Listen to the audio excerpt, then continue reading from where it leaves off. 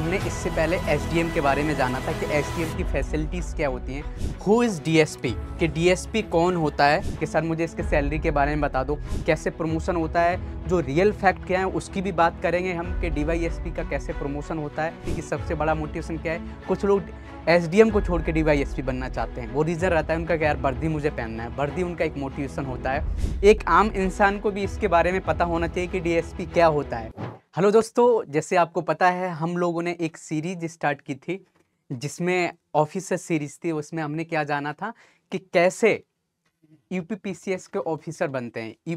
UPPCS के through कौन कौन से ऑफिसर बनते हैं? तो इस सीरीज़ में हमने इससे पहले एसडीएम के बारे में जाना था कि एसडीएम की फैसिलिटीज़ क्या होती हैं। उसके काम क्या होते हैं, उसके रेस्पॉन्सिबिलिटीज़ क्या होते हैं? और आज हम जानने जा रहे हैं, जैसे आप लोगों ने कमेंट किया था कि सर डी के बारे में या डीएसपी के बारे में बताइए तो आज हम जो कवर करने जा रहे हैं हु इज़ डीएसपी कि डीएसपी कौन होता है? तो आज इसके बारे में जानेंगे कि इसकी रेस्पॉन्सिबिलिटीज़ क्या होती हैं फैसिलिटीज़ क्या इसको मिलती हैं, इसका वर्क क्या होता है सैलरी क्या होता है, जो हर कोई पर्सन जानना चाहता है कि सर मुझे इसके सैलरी के बारे में बता दो। तो मैं इसमें क्या है, जो प्रेजेंट की सैलरी है एक मेरा दोस्त है डी वाई एस पी है तो उससे मैंने उसका सैलरी पे स्केल लेके आया हूँ तो वो भी आपको दिखाऊँगा कैसे प्रमोशन होता है। जो रियल फैक्ट क्या है, उसकी भी बात करेंगे हम कि डी का कैसे प्रमोशन होता है। आपको दिखता तो बहुत सिंपल होगा, लेकिन बहुत कॉम्प्लिकेटेड प्रोसेस भी है प्रमोशन की डीवाईएसपी में। तो आज जानेंगे इसके काम क्या हैं। तो चलिए जानते हैं, ज़्यादा देर न करते हुए अच्छे से जानते हैं, सीखते हैं इसके बारे में। आपके लिए बहुत से लोगों का मोटिवेशन होता है डीवाईएसपी की सबसे बड़ा मोटिवेशन क्या है। कुछ लोग एसडीएम को छोड़ के डीवाईएसपी बनना चाहते हैं। वो रीज़न रहता है उनका कि यार वर्दी मुझे पहनना है। वर्दी उनका एक मोटिवेशन होता है। वो अपना सबका डिफरेंट डिफरेंट है, लेकिन मुझे ऐसा लगता है कि सबसे बड़ा जो किसी का भी मकसद होना चाहिए जॉब में जाने का, आप यू पीसीएस में जाना चाहते हैं या आप यूपीएससी निकालना जाना चाहते हैं तो सबसे बड़ा आपका जो मोटिव होना चाहिए कि कुछ यार सोसाइटी में चेंज लेके आएँ। कुछ समाज सेवा जो हमारा बहुत से लोग आप उनके इंटरव्यू देखो या कुछ भी देखो, बोलते कि यार मैं सोसाइटी में कुछ चेंज लेना आता है तो वो सबसे बड़ी बात है। मोटिवेशन वर्दी, हमारा वर्दी मोटिवेशन होगा, वर्दी मिल जाएगी तो काम नहीं करोगे। तो काम भी होना चाहिए, लेकिन ये कि ठीक है मोटिवेशन के लिए भी कुछ ना कुछ चीज़ें होनी चाहिए। तो चलिए जानते हैं कि डीएसपी क्या होता है, क्या इसके बारे में अच्छे से जानते हैं। ठीक है तो देखते हैं इसके बारे में। तो सबसे पहले क्या है कि मीनिंग ऑफ़ डीएसपी और डीएसपी का मतलब क्या है? बहुत से लोगों को इसकी बेसिक देखो क्या है कि यही नहीं कि जो यूपीपीसीएस की तैयारी कर रहा है, वही इसके बारे में जाने। ऐसा नहीं है। एक आम इंसान को भी इसके बारे में पता होना चाहिए कि डीएसपी क्या होता है। समझ गया ना? तो जान लेते हैं कि डीएसपी का जो फुल फॉर्म है, कि डीएसपी का एक फुल फॉर्म आपको देखा जाएगा। तो the popular term DSP stand for deputy superintendent of police Hindi में हम बात करें, लोकप्रिय लोकप्रिय शब्द डीएसपी का अर्थ होता है पुलिस उप अधीक्षक हिंदी में पुलिस उप अधीक्षक उसको बोलते हैं। या इंग्लिश में बात करें तो आपने देखा होगा, डिप्टी सुपरिंटेंडेंट ऑफ़ पुलिस। ठीक है, जब हम बहुत छोटे होते थे, जो लोग देना चाहते हैं, एग्ज़ाम तो पूछा जाता था कभी कि डेफिनेशन बताओ एसपी की डेफिनेशन बताओ, डी डीवाईएसपी की डेफिनेशन, वो फुल फॉर्म बताओ। समझ गए ना? ठीक है, पता होना चाहिए आपको बेसिक जानकारी। तो अब क्या है कि इंट्रोडक्शन ऑफ़ डीएसपी का थोड़ा इंट्रोडक्शन हम देख लेते हैं कि डीएसपी के बारे में। The post of deputy superintendent of police is one of India most important and dominant position आप हम बात करें स्टेट की बात करें तो स्टेट में जो स्टेट की जो सिलेक्शन यूपीपीसीएस करता है, हर स्टेट का एक कमीशन होता है जो सिलेक्शन करता है। या एसडीएम का बात करें, या डीवाईएसपी का बात करें, आप बीडीओ की बात करें, या एआरटीओ का बात करें, या नायब तहसीलदार की बात करें। तो वो चीज़ें क्या हैं कि इसी एग्ज़ाम के थ्रू होती हैं। तो सबसे एक अच्छी पोस्ट मानी जाती है, एक डोमिनेंट पोस्ट मानी जाती है डी को, ठीक है? अच्छा एक एक रेस्पेक्टफुल सोसाइटी में भी रेस्पेक्टफुल पोस्ट मानी जाती है। कोई बोले डी बन गया, अच्छी बात है। यूपीएससी के थ्रू आईपीएस बनते हैं, जो एज ए एसपी ज्वाइन करते हैं, लेकिन हम यूपीपीसीएस के थ्रू जो लोग ज्वाइन करते हैं, वो एज ए डीवाईएसपी ज्वाइन करते हैं। These are state level police state level का पुलिस ऑफिसर होता है ये आपको पता होना चाहिए who are extremely important since they work for their welfare of the society society के वेलफेयर की बात करते हैं। अब सोसाइटी के वेलफेयर की बात कैसे करेंगे? लॉ एंड ऑर्डर को मेंटेन करना क्राइम को कंट्रोल करना। क्राइम बहुत ज़्यादा होंगे तो सोसाइटी में क्या होगा? बहुत ज़्यादा अशांति होगी, वो अपने सही से काम नहीं कर पाएँगे। तो आप समझ सकते हो कि पुलिस का बहुत बड़ा रोल होता है कि कैसे हमें एक सोसाइटी में एक शांति पैदा करे, जिससे एक प्रोडक्टिव काम कर सके वो। समझ गया ना? तो ये चीज़ें आपको बेसिक पता होना चाहिए। अब देख लेते हैं कि क्या है, आगे भी जानते हैं इसके बारे में। अब देखा होगा कि ऐसा देखा, डीएसपी का ऐसा होता है कि इनके तीन स्टार लगे होते हैं, सिल्वर स्टार। ये आपने देखा होगा, लोग पहले बहुत स्टार पर ध्यान देते थे कि भाई कितने स्टार मिलेंगे मुझे? यार, तीन स्टार की जॉब करनी है। ऐसा एक मोटिवेशन होता था कि डीवाईएसपी मुझे बनना है लाइफ में, कि मुझे स्टार पहनना है, घर आना तो स्टार पहन के आना ऐसा मोटिवेशन होता है लोगों का। तो डीवाईएसपी का, डिप्टी सुपरिंटेंडेंट का बात करें और पुलिस का तो ऐसा होता है इनका। और इस पोस्ट की कई, को कई जगह पर असिस्टेंट कमिश्नर ऑफ़ पुलिस भी बोला जाता है। ये भी पता होना चाहिए एसीपी बोलते हैं। जैसे हरियाणा में डीवाईएसपी को एसीपी बोलते हैं। दूसरे स्टेट में भी कुछ कुछ अलग रहता है तो ये चीज़ आपको समझ के ना कि डिफरेंट नाम भी होते हैं तो देख लेते हैं क्या क्या नाम होते हैं इसके बारे में। तो the deputy superintendent of police police उपाधीक्षक की बात करें तो state police force higher ranking official are as are known as deputy superintendent of police ठीक है? ये they are in the same position as the assistant chief of police in terms of power ए समझ गया ना? ए हो गया और DSP हो गया, मैंने जो बोला था डीएसपी ये सेमी वर्ड है, बस क्या है कि अलग अलग स्टेट में अलग अलग नाम से जाना जाता है, दोनों बराबर हैं। दे आर रिकनाइज और posted as a circle officer कहीं कभी क्या कभी कभी क्या होता है कि डीवाईएसपी को एज ए सीओ बना के भेजा जाता है कि आप सीखिए, काम कीजिए। ठीक है, ऐसे भी पोस्ट कर देते हैं कौन कौन से उत्तराखंड में पोस्ट कर देते हैं एज ए सी ओ राजस्थान में भी कर देते हैं। तो ये जनरल पीपीटी है हमारी, जिसमें हम यूपी पीसीएस उत्तर प्रदेश की तो बात करेंगे, लेकिन ओवरऑल एक स्टेट जो सिविल सर्विसेज़ हैं उसकी बात इसमें की गई है। और a DSP also known as a sub divisional police officer जो एसपीडीओ बोलते हैं एस किसमें? और ये वेस्ट बंगाल में जाना जाता है। जैसे हम यूपी में बात करें तो यूपी में डीवाईएसपी बोलते हैं। ऐसे ही इस पोस्ट को क्या होता है? वेस्ट बंगाल में एसपीडीओ के नाम से जाना जाता है। इसको क्या बोलते हैं? सब डिविजनल पुलिस ऑफिसर ठीक है? In charge of the sub division these officers are higher in rank than assistant superintendent officer but lower rank than chief of police जो चीफ ऑफ़ पुलिस होता है, उससे लोअर पोस्ट होती है। SP से भी लोअर पोस्ट होता है। एसपी क्या करता है? एसपी ऑब्वियसली बात क्या है? आपने देखा होगा कि जो यूपीएससी का जो एग्ज़ाम निकाल के लोग आते हैं, वो एज ए एसपी होते हैं। वो उनको आईपीएस भी आप बोल सकते हो। ठीक है? अब क्या एलिजिबिलिटी क्राइटेरिया जो सबको पता होना चाहिए कि यार कैसे कोई पर्सन आप कोई बनना चाहते हो, इस एग्ज़ाम में आना चाहते हो तो कैसे बने? ये चीज़ आपको पता होनी चाहिए किस एग्ज़ाम में आप आना चाह रहे हैं तो कैसे बने? ठीक है तो देख लेते हैं क्या क्या इसके लिए रिक्वायरमेंट है। ठीक है तो क्या है इसमें? कि the eligibility required to be the DSP तो डीएसपी बनने के लिए आवश्यक क्या क्या रिक्वायरमेंट हमें होनी होनी चाहिए। तो पहली तो बात ये क्या है कि वो इंडियन का सिटीजन होना चाहिए। ये नहीं कि कोई फॉरनर्स आके इसको एग्ज़ाम देने के लिए अलाउ कर दिया, उसको हम इसका डीएसपी बना देंगे। नहीं, कोई भी आप सरकारी जॉब होगी तो आपने देखा होगा, हमारा कॉन्स्टिट्यूशन भी बोलता है कि इंडिया का सिटीजन ही बन सकता है, कोई दूसरा पर्सन नहीं बन सकता है। ठीक है, ये हुआ।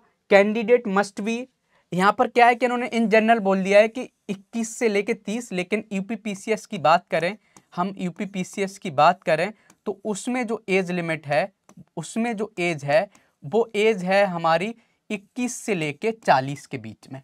ये आपको पता होना चाहिए।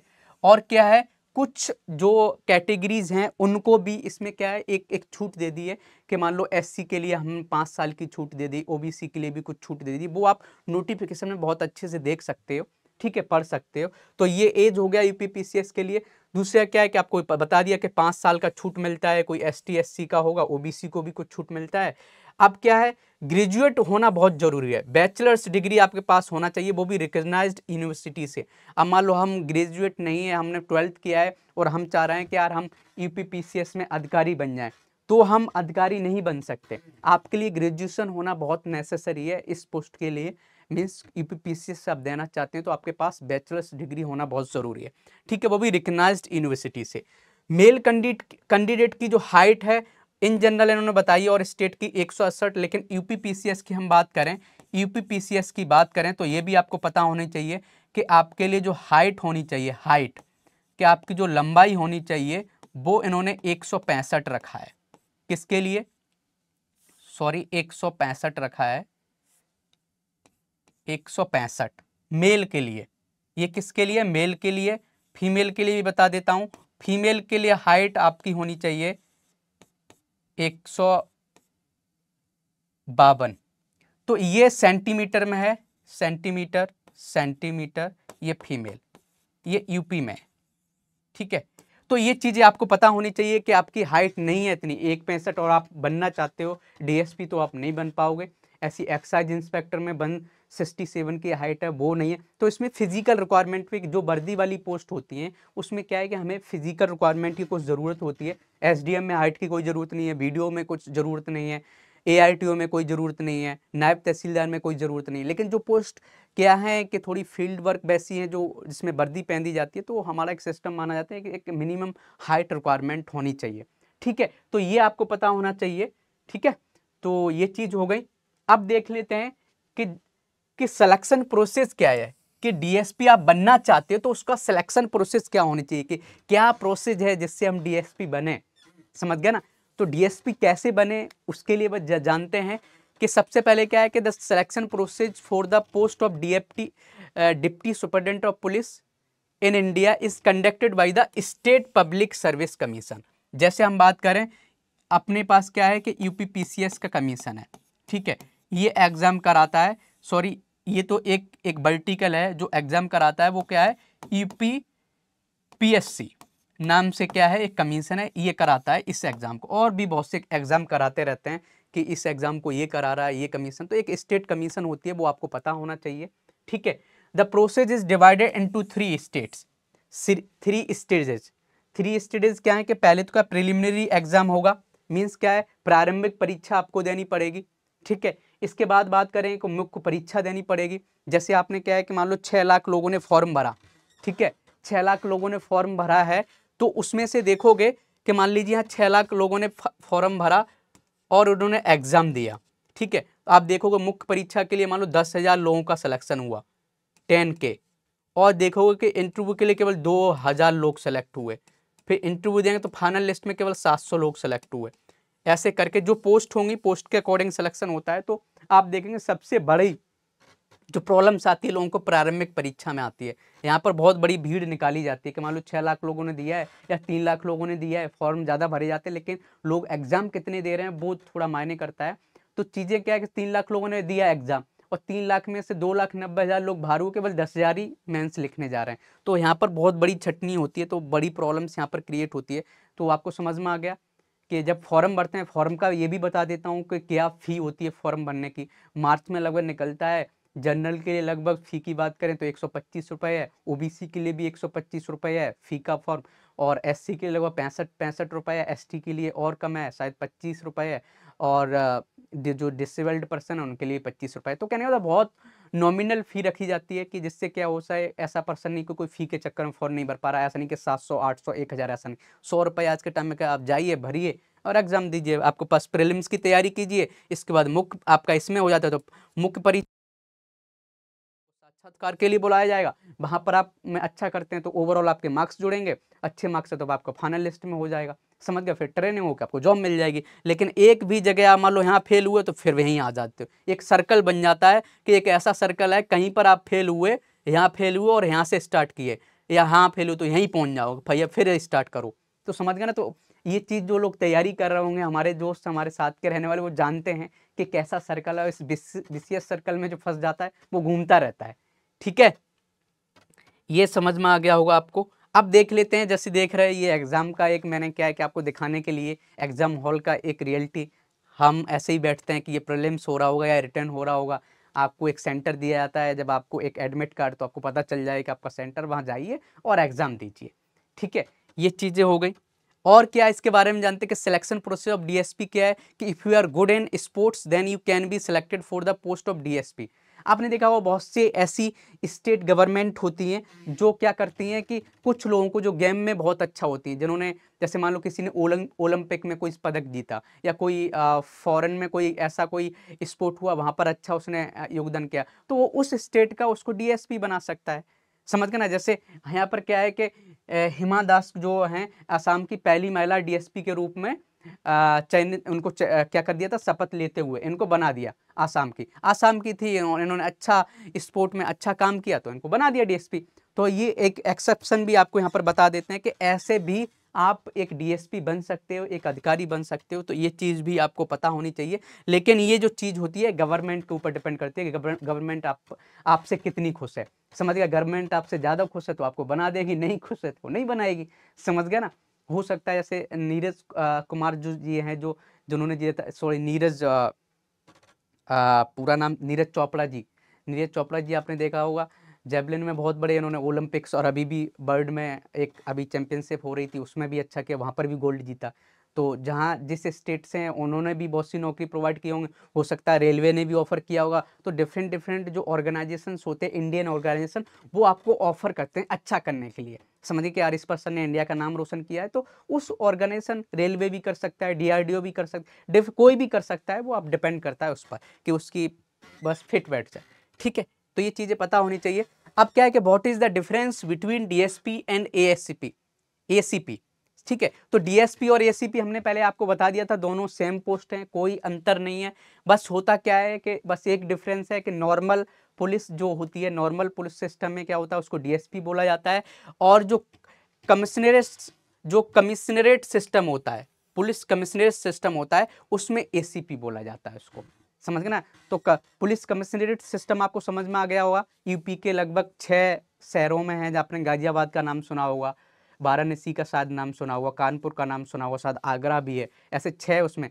तो पुलिस कमिश्नरेट सिस्टम क्या होता है कि इसमें क्या होता है कि जैसे क्या होता है कि पहले जो आईपीएस होता है, उसको अपनी डिसीज़न लेने के लिए आईएएस से पूछना पड़ता है। लेकिन पुलिस कमिश्नर सिस्टम में क्या, वो डायरेक्ट गवर्नमेंट से या मुख्यमंत्री से उसके डायरेक्ट बात होगी, उसके लॉ एंड ऑर्डर से रिलेटेड। तो वो सिस्टम भी पता होना चाहिए। तो पुलिस में, पुलिस कमिश्नरेट सिस्टम में उसको एसीपी बोला जाता है, ये चीज़ पता होनी चाहिए। और जो नॉर्मल कंडीशन होती है, नॉर्मल पुलिस सिस्टम में उसको क्या बोला जाता है? डीएसपी बोला जाता है। नॉर्मल पुलिस सिस्टम में उसको डीएसपी बोला जाता है। ये चीज़ आपको समझ में आ जानी चाहिए, ठीक है? ठीक है? ये चीज़ हुई। अब क्या है the purpose of a DSP is to maintain law and order तो रोल्स ऑफ़ डीएसपी डीएसपी के काम क्या हैं? ये थोड़ा हम जान लेते कि डीएसपी के काम क्या हैं। तो purpose is is DSP to maintain law and order आपने देखा हो लॉ एंड ऑर्डर का काम करना रहता है। जितने भी सिटीजन हैं इंडिया के, या कोई भी पर्सन हो, उसकी सुरक्षा करना।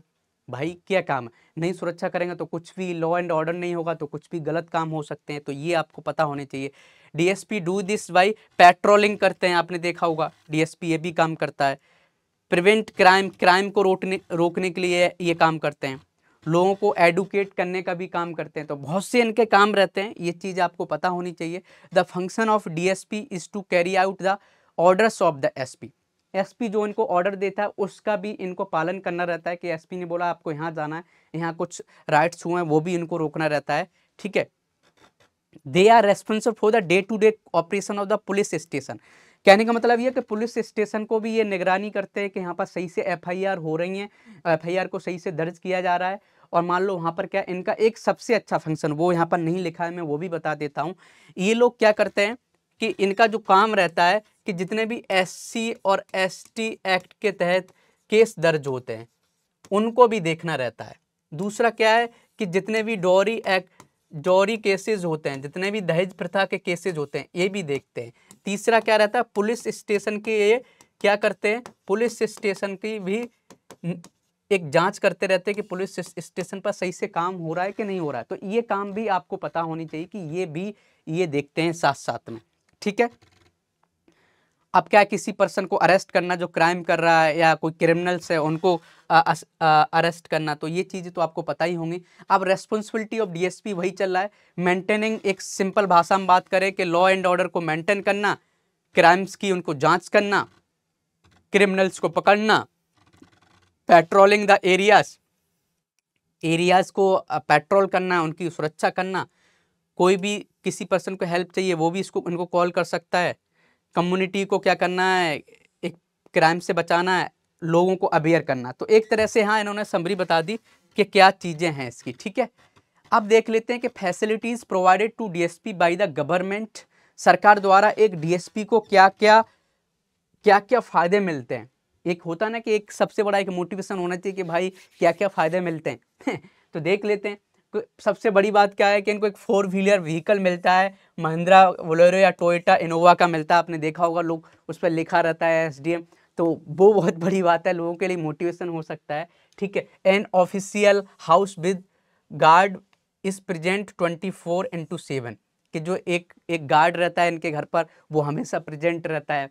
बहुत से लोग चाहते हैं कि यार यही एक एक ह्यूमन टेंडेंसी होती है, एक ह्यूमन साइकोलॉजी होती है कि यार मेरे भी कोई मुझे सम्मान देने के लिए हो तो ऑब्वियस बात पर्सन जब आएगा ये सर आइए, दरवाज़ा खोल रहा है। लेकिन एक समझदार इंसान क्या इन चीज़ों को ज़्यादा केयर नहीं करता, अपने काम पर फोकस ज़्यादा करता है। और आपको भी ये चीज़ें थोड़ी, ये चीज़ें क्या होती हैं, जब आप बुक पढ़ोगे, लोगों को जानोगे कि क्या एक एक पर्सन को होना चाहिए, लेकिन लोग क्या इल्यूजन में ज़्यादा फंस जाते हैं तो वो अलग की बात है।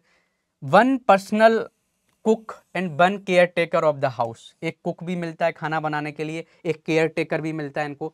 Three three P S O means personal security guard भी इनको मिलते हैं। तीन, इनके यहाँ पर क्या रहता है कि एक पुलिस ऑफिसर भी रहते हैं जो इनकी सुरक्षा करने के लिए। ऐसा नहीं कि मान लो कोई भी आए, कुछ भी करके चला जाए। तो ये हो गया, समझ गया ना? अब गवर्नमेंट पेड टेलीफोन कनेक्शन भी मिलता है। हाई क्लास अकोमोडेशन मिलता है इनको रहने के लिए घर मिलता है। ठीक है? पेंशन इनकी पत्नी को जो भी है, इनकी पत्नी मान लो इनको कुछ हो जाए तो इनकी पत्नी को पेंशन भी मिलेगी इनकी, जिससे उसका ज़िंदगी चल सके। तो ये चीज़ें हैं। आप देख लो, ये देखो, आपके लिए एक मोटिवेशन हो सकता है कि यार मुझे डीएसपी बनना है तो क्यों बनना है? डीएसपी बनने के क्या क्या बेनिफिट है? कि एक गाड़ी मिलेगी, उसके पीछे लिखा होगा डीएसपी लिखा होगा। समझ गए ना? लोग देखेंगे, जब मैं उतरूँगा एक गाड़ी से, एक वर्दी हमारे पास होगी, वर्दी को लोग देखते ही एकदम सलूट सा करते हैं, लोग जानते कि यार भाई डीएसपी आ गया। आप अच्छा काम भी करते हो तो लोग और अच्छे से जानते हैं। समझ गए ना? तो कुछ फ़ेमस आपने डीएसपी या आईपीएस का नाम सुना होगा। तो ये आप देख सकते हो कि ये इनका घर है और ये ऐसे ये देखा होगा, ऐसी गाड़ी मिलती है। तो ये एक मोटिवेशन आप समझ सकते हो। अब प्रमोशन ऑफ़ द डीएसपी कि प्रमोशन कैसे होता है? ये बहुत जटिल प्रक्रिया है। तो आपको दिख रहा होगा कि ये ऐसे ऐसे दिख रहा होगा कि यार पहले इतने स्टार मिलेंगे, इतने स्टार मिलेंगे। तो वो बहुत सी है। Is a hierarchy of the promotion of a DSP these promotion are done by the departmental एक डिपार्टमेंटल प्रमोशन कमेटी बनती है, हर जगह बनती है। यूपी में भी एक कमेटी बनाई गई थी, अभी कुछ दिन पहले हमारा दोस्त बोल रहा था, बोल रहा था कि हमारा प्रमोशन इनका प्रमोशन क्या है कि एक डीएसपी को ए एएसपी बनने के लिए एडिशनल सुपरिटेंडेंट ऑफ़ पुलिस बनने के लिए बारह साल लगते हैं, बहुत बड़ा टाइम है। तो उस पर कुछ चेंजेस करने की अभी बात हो रही है। तो किसी भी स्टेट का सबका अपना प्रमोशन का तरीका अलग अलग है। वो क्या कमेटी पर डिपेंड करता है, ये आपको पता होना चाहिए। ठीक है? एक कमेटी होती है, वो सेलेक्ट करती है, कैसे बनना है, वो देखते हैं आगे। अब क्या क्या जैसे नॉर्मली देख लेते हैं कि एक डिप्टी सुपरिटेंडेंट ऑफ़ पुलिस होता है, ये पर्सन है तो उसको क्या है, फिर एडिशनल सुपरिटेंडेंट ऑफ़ पुलिस बनता है एएसपी फिर उसको सुपरिटेंडेंट ऑफ़ पुलिस एसपी बना दिया जाता है मीन्स इंडायरेक्टली आईपीएस बोलते हो। लेकिन इसको बनने के लिए बहुत वो चाहिए। ये आपको दिख रहा होगा बहुत सिंपल भाषा में, लेकिन यूपी में बहुत सी प्रॉब्लम्स हैं। कि आप पचपन साल के हो गए और आपका प्रमोशन होने के लिए जा रहा तो आप नहीं बन सकते। तो पचपन साल का रूल बोला जाता है, ऐसा है यहाँ पर। समझ गए ना?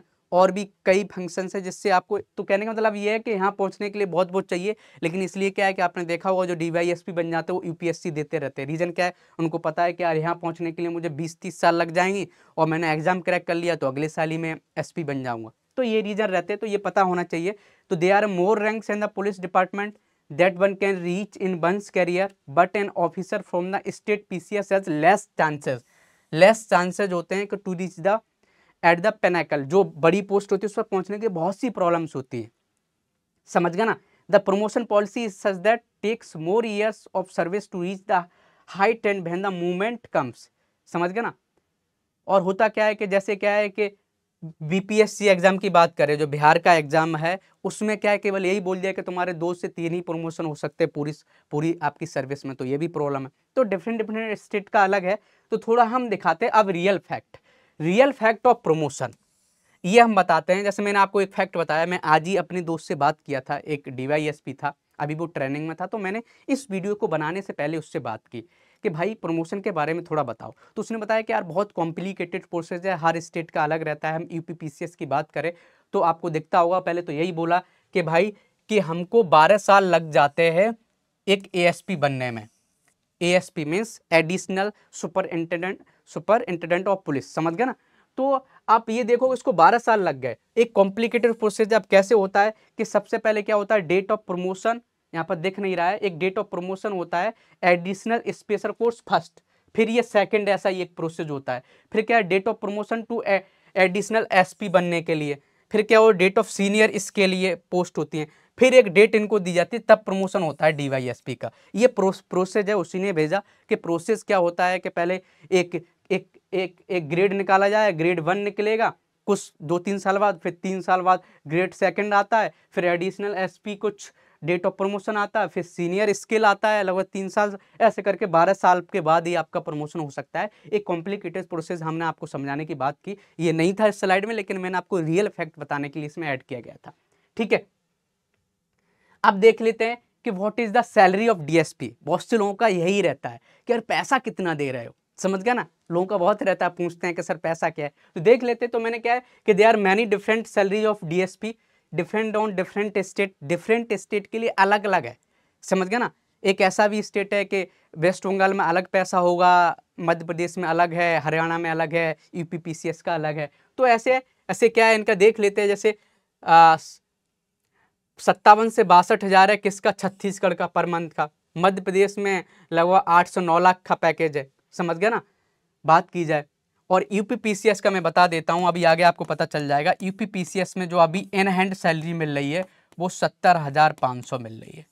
ये आपको बता दे रहा हूँ, ये अभी सैलरी मिल रही है सत्तर हज़ार पाँच सौ रुपये ठीक है? ये पर मंथ इतना, आपके जोनिंग के टाइम पर। अब देख लेते हैं कि सेवेंथ पे आया था तो अभी ये इन जनरल बताई गई है कि तिरपन हज़ार से लेके ए मिनिमम इतना और हाईएस्ट एक लाख सड़सठ हज़ार, वो डिपेंड करता है किसकी? बेसिक सैलरी तिरपन हज़ार है और आप देखो मैक्सिमम सैलरी एक लाख सतासी हज़ार है। फिर स्टार्टिंग एंड एंड सैलरी ये तो ऐसी दिखाया गया, इतना नहीं होता है। तो इसमें कुछ नहीं ऐसा है। आप देख लेते हैं कि जब एंट्री पर डीएसपी जाता है तो ये किसी और स्टेट का दिया एज ए एवरेज दिया है कि तिरपन हज़ार से स्टार्ट होता है। पे लेवल नाइन है आपका। फिर एक लाख सत्तावन हज़ार आठ सौ रुपये हाइएस्ट भी जा सकता है। फिर पे ले, पे लेवल टेन बढ़ता है, आपका छप्पन हज़ार हो जाता है। फिर फिर आपका पे लेवल ग्यारह होता है, बढ़ती चली जाती है। आपका ट्वेल्व ईयर्स ऑफ़ सर्विस देख रहे हैं, बारह साल बाद ये, सोलह साल बाद ये, पंद्रह साल बाद ये, समझ गए ना? अब पंद्रह साल बाद आपकी सैलरी हो जाएगी मिनिमम एक लाख इकतीस हज़ार और हाईएस्ट क्या है? दो लाख अठारह हज़ार। समझ गए ना? दो लाख अठारह हज़ार आठ सौ। तो कहने का पंद्रह साल बाद आपकी अच्छी खासी सैलरी हो जाती है तो ये चीज़ देख सकते हो। तो ये चीज़ें हैं। अब एग्जैक्ट हम आपको दिखाते हैं, ये हमारे दोस्त का अभी पेमेंट हुआ था, अभी उसने क्या है महा अगस्त का। देख रहे अगस्त लिखा है। अगस्त का है ये। अगस्त का है और ये एक डीवाईएसपी को पैसा मिला है। डीवाईएसपी ऑफ़ यूपी सैलरी आप देखोगे कि इसको कितना मिलता है, आपको एग्जैक्ट वेतन क्या इसको मिला? छप्पन हज़ार सौ रुपये विशेष भत्ता ज़ीरो रुपये कुछ नहीं मिला। ट्रेनिंग में अभी चल रहे हैं शायद ये जब काम में जाएँगे तो यहाँ पर कुछ रुपए बढ़ेगा। महँगाई भत्ता क्या है कि तेईस हज़ार पाँच सौ बासठ रुपये आहार भत्ता क्या है? आठ सौ रुपये वर्दी धुलाई भत्ता क्या है? तीन सौ रुपये देख रहे वर्दी का तीन सौ ही रुपये दे रहा है पूरे पूरे महीने में। समझ गया ना? और, योग कितना है अस्सी हज़ार सात सौ बासठ। लेकिन फिर क्या है? कि अब देखोगे कटौती क्या करेंगे? दो सौ रुपये ये भाई काट दिए P I F G I S कुछ कटौती होगी, फिर एन पी एस कटौती है जो एक नेशनल पेंशन स्कीम होती है, बाद में मिलेगा।